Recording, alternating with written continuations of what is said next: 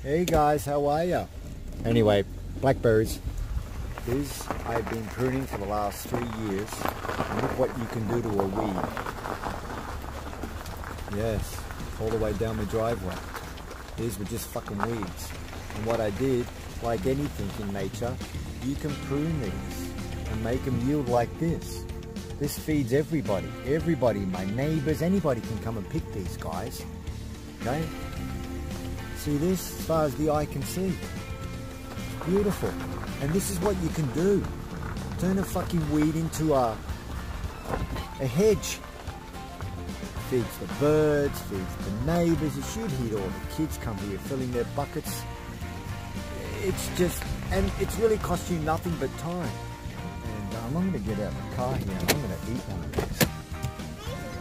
Yeah, okay, I'll get you some too, William. Ah, you can stay in the car, darling. I'll get you some. Look at this, guys. Isn't this awesome? Huh? Look. I mean, my God. Anybody can do this. You know, most people, they fucking, they kill these with pesticides, herbicides, you know, just so stupid. But anyway, there we have it.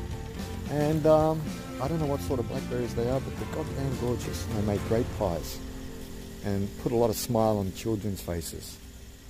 Anyway, out for now. Don't forget, liquid sunshine, guys, okay? It's nature. And they only come out of on a certain time of the year for a reason, okay?